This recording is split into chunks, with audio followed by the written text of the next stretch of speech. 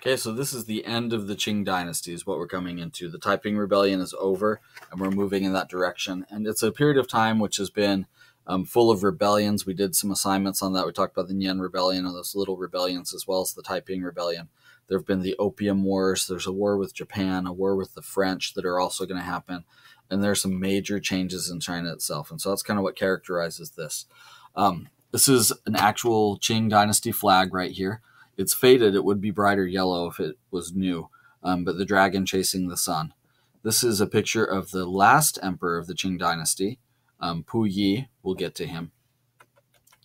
Um, so we saw rebellions are really the key from 1850 almost until the end of the Qing dynasty, but definitely until 1878. Um, the big one being the Taiping Rebellion, the second biggest being the Nian Rebellion had we been actually in class, we would have taken a couple of days and done an assignment on minorities in China. We talk about how China is over 90% Han Chinese, um, but 10% of China, almost 10%, are actually minorities that are not Han Chinese, people like the Hakka. Now, if you do the numbers really quickly, China has 1.7 billion people, right? So that 10% is actually 170 million people who are not Han Chinese. That's half the population of the US almost. So that's a lot of people worth considering. Rebellions, we've talked about rebellions a lot. Let's focus one little thing on the Taiping. You know about the Taiping Rebellion. We don't need to go into a lot of detail. But what we do want to emphasize is why it is different from other rebellions that we've looked at. Um, other rebellions are kind of like, yeah, we're mad, we're angry peasants, we hate the Qing, they're terrible, let's get rid of them and let's get a new emperor, and we'll make this guy the emperor. Um, the Taiping were different because they didn't say, oh, the Qing are terrible. They said everything is terrible. Let's reinvent China. Let's start over. And they almost won when they did it. Nothing was sacred to the Qing. I mean, they were talking about getting rid of Confucius, getting rid of the exam system, or changing it and having uh, Hong Xiuquan's crazy ideas be the material that you had to test on instead. But they're significant because they almost won. Now, I showed you this before on another assignment when we were talking about the beginning of the Taiping Rebellion, but I cut off the bottom part of the page here. So let's take a look. Um, what we have in this column is arable land. Arable land means land that can be used to grow crops. What we have here is the population of the whole country of China. And then here we have how much land per person is available. And we talked about how in the a lot of Chinese history, you had about seven mu, which is not quite an acre, 0.15 acres, available per person, right? And we talked about how that number got tighter and tighter. Um, now let's talk about the time frame here. 1812 this would be, you know, just about we're getting into Opium War times. 1820, Hong Xiuquan, he would have been a kid at this time. And 1850 is when the Taiping Rebellion starts. So at the time it was starting, we saw that the land per person was down really low. The whole population, 434 million, was quite high. Now look at what happens historically with the population. So from 1820 to 1850, what happened? Over 30 years, they added 60 million people to the population. From 1812 to 1821, so nine years, they added almost 40 million people. In this period here, what do we have? A 30 year period, and we've added about 50 million people.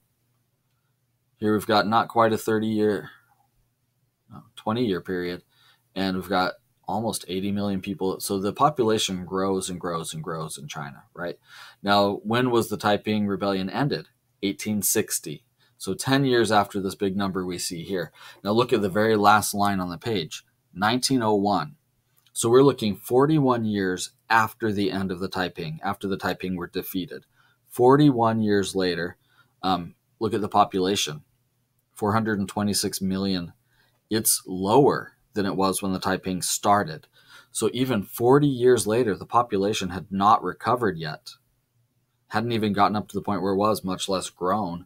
So that shows you a little bit of how devastating the Taiping Rebellion was for China in general.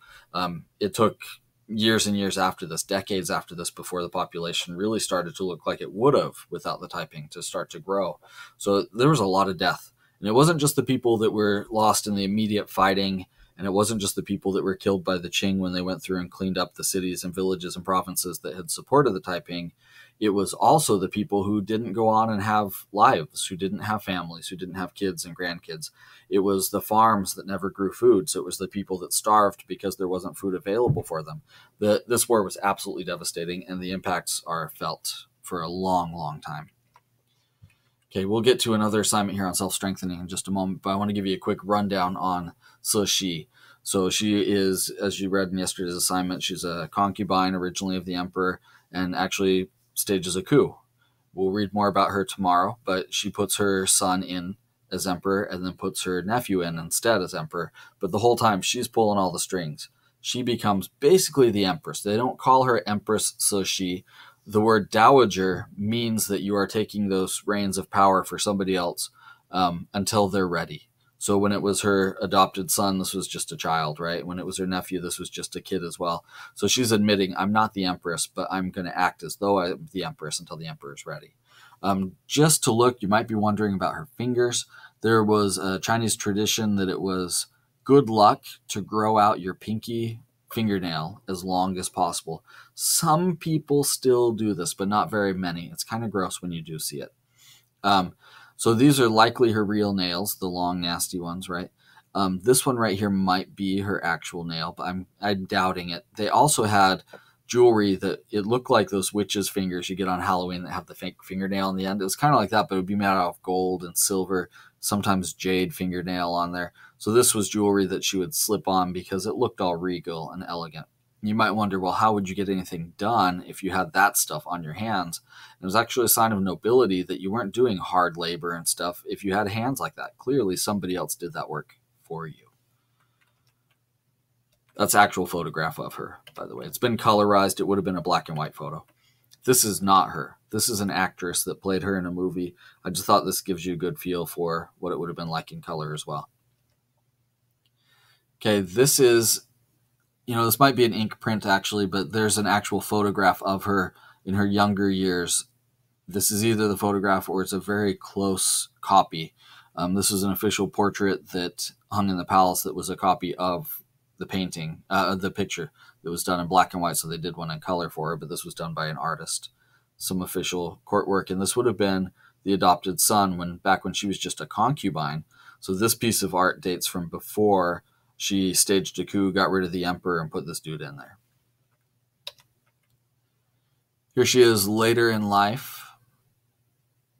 Um, she would have had bound feet. So if you look on the left, see those little things? Those are not her shoes, but those are little stools that she would have put her feet up onto when she was sitting on her throne. Um, she was known for having very painful feet as a result of the foot binding process. Um, here she is late in life.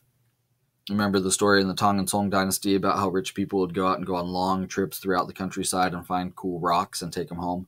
These were cool rocks that people had taken back to the palace gardens. There she is being carried around. Okay, so I'm going to go for a podcast for the next little bit here, and that will have a reading from China History by Harold Tanner. It's got some good summary on what this self strengthening movement is all about. So we'll get to that in just a moment. Once I figure out how to stop this thing without you guys all watching.